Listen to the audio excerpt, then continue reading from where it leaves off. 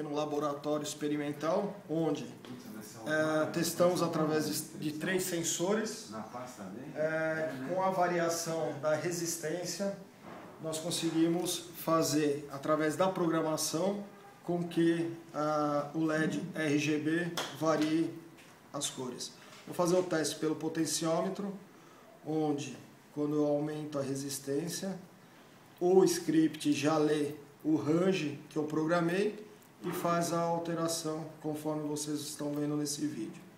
Quando eu chego bem ao limite e eu descubro a sensibilidade do potenciômetro, é uma variação bem pequena.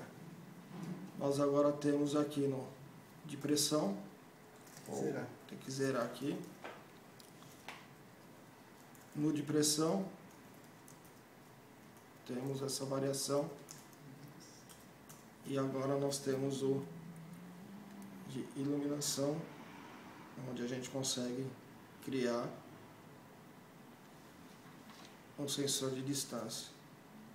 Estamos patenteando essa ideia para trocar o sistema de